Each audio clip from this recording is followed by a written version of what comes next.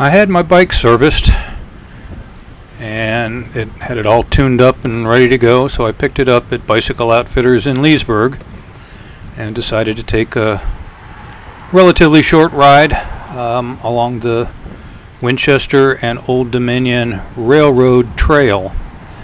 Uh, the trail is 45 and a half miles, runs from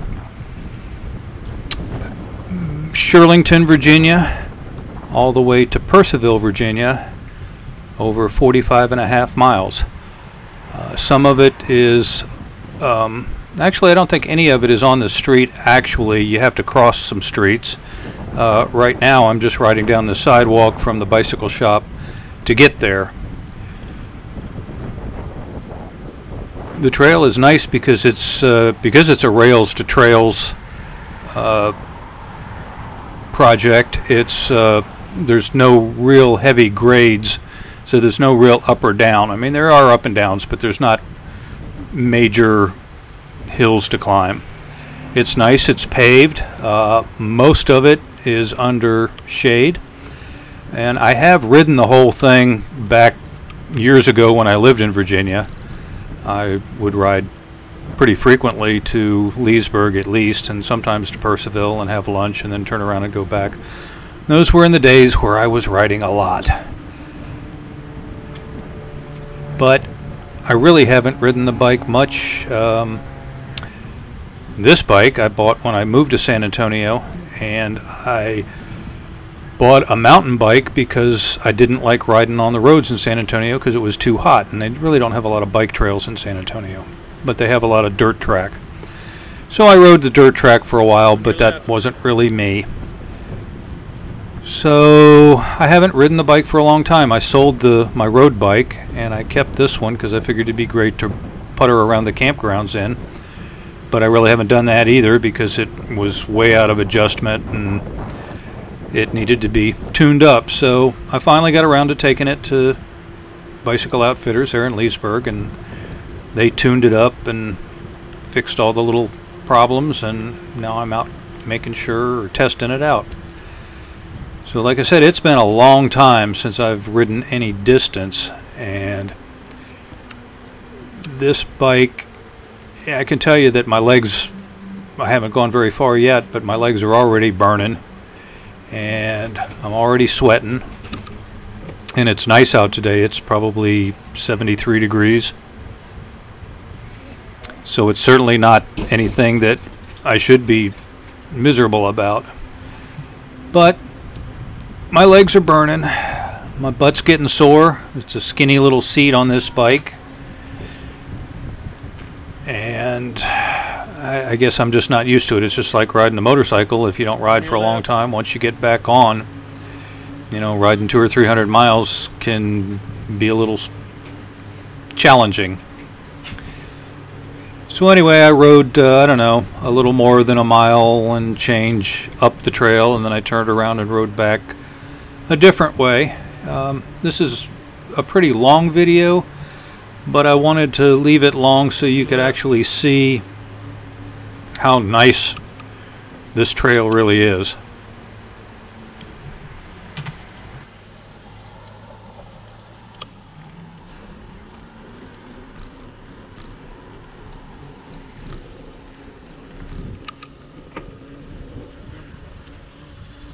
But I'll tell you what I'll do. I'll speed it up for a while.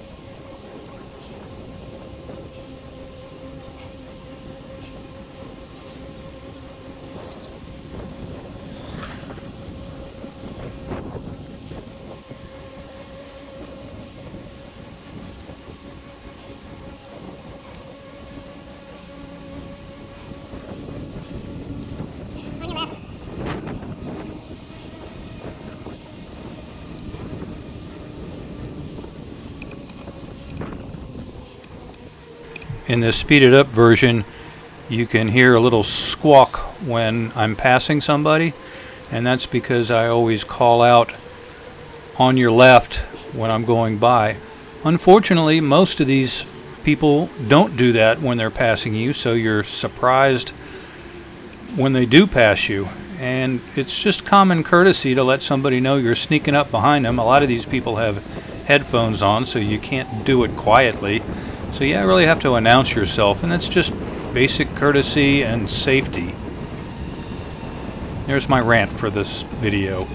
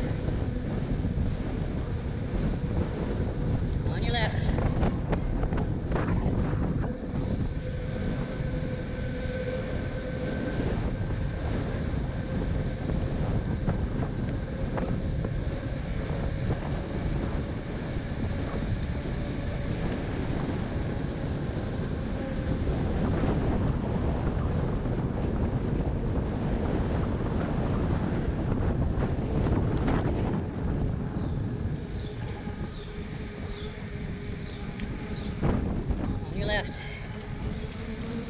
On your left.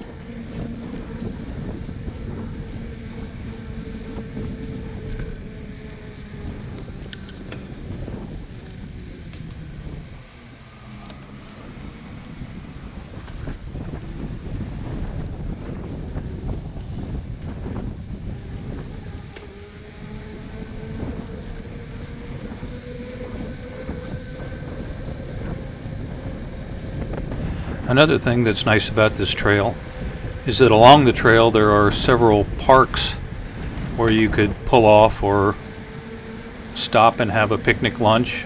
Uh, they, some of them have barbecue grills, some of them have shelters, and uh, I guess most of them have picnic tables. There are also benches along the path. Uh, there are also historical markers that tell you what was going on, mostly like Civil War era kind of thing. Um, it's just a really well thought out trail. Um, I wish there were more of them around the country. Uh, particularly, I wish there were more in San Antonio that were under trees because it's really hot, I think, riding on the road. And look, who is this? Who did I run into?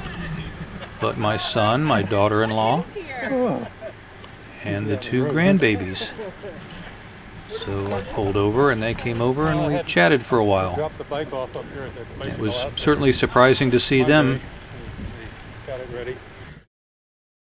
He's right there. See? See, look who it is. Where, his car's not here. So after a nice chat, we went our separate ways.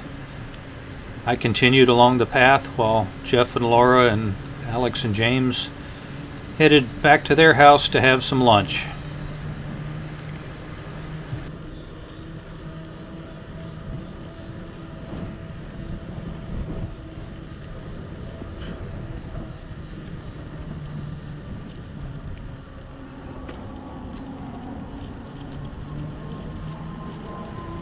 On your left.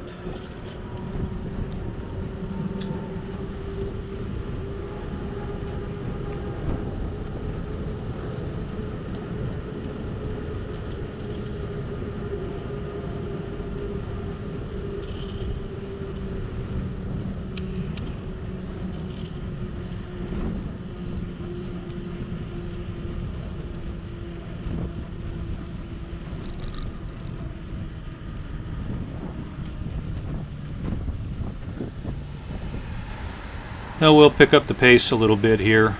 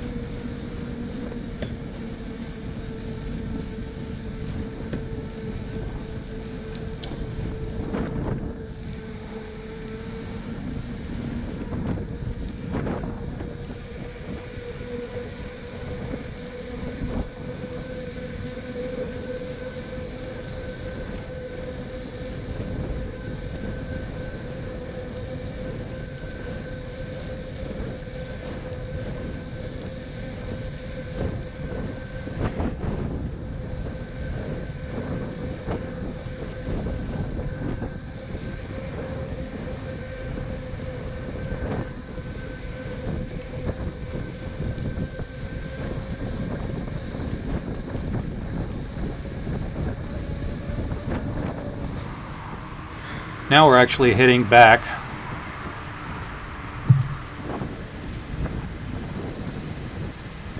I'm gonna go back to the truck, load up the bike, head to the grocery store, and then go back to the RV and edit the video and hang out with the dogs.